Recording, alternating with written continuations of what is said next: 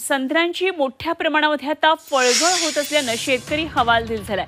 पावसानं दडी मारली आहे. त्यात बदलत्या हवामानामुळे संत्र्याला रोग पडलेला आहे. तर संत्र्याची मोठ्या प्रमाणामध्ये आता फळगळ सुरू झाली आहे नेमक्या उपाययोजना काय कराव्यात त्याचं मार्गदर्शन कृषी विभागाकडून मिळालेलं नसल्याचा आरोप संत्रा उत्पादक शेतकरी करतात. तर संत्र्यांच्या बागांमधून आढावा घेतला आमचे प्रतिनिधी अनिरुद्ध दवाळे यांनी. यंदा अमरावती जिल्ह्यामध्ये पन्नास हजार हेक्टरपेक्षा जास्त हेक्टरवरती जे आहे ते संत्रा उत्पादक शेतकऱ्यांनी आपलं संत्र्याचं पीक घेतलेलं आहे. मात्र आता जर पाहिलं तर सध्या संत्रा उत्पादक शेतकरी जो आहे तो मोठ्या संकटात सापडलेला आहे. कारण सध्या जर पाहिलं तर जवळजवळ सर्व शेतांमध्ये संत्रांचं जे फळगळ आहे ती मोठ्या प्रमाणात झालेली आहे.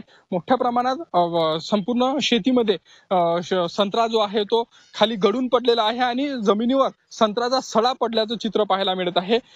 गेल्या पंधरा ते वीस दिवसापासून अमरावती जिल्ह्यामध्ये पाऊस झालेला नाही. हाताला मुंग्या येत होत्या. गुडघे कंबर मान पाठ खूप दुखत होती. अमृत लोणी आर्थो प्लस घेतल्यापासून हाताच्या मुंग्या कमी झाल्या. आरोग्याचा भरोसा अमृत नोनी ऑर्थो प्लस त्यामुळे मोठ्या प्रमाणात शेतकरी जो आहे तो संकटात सापडलेला आहे.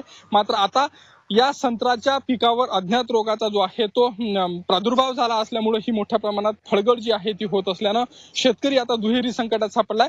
त्यामुळं आता कृषी विभागाने शेतकऱ्याच्या बांधावर जावं आणि बांधावर जाऊन शेतकऱ्याला जे आहे ते मार्गदर्शन करावं असं शेतकरी जे आहे ते सध्या बोलून दाखवतात त्यामुळे आता कृषी विभाग नेमकं शेतकऱ्याच्या बांधावर जाते तरी केव्हा आणि शेतकऱ्यांना याविषयी मार्गदर्शन करते तरी केव्हा हे पाहणं खऱ्या अर्थानं असुख्याचं ठरणार आहे. व्हिडिओ जर्नलिस्ट सागर ताडे समी अनिरुद्ध दवाडे झी मीडिया अमरावती. भंडाऱ्याची उधळण म्हणजे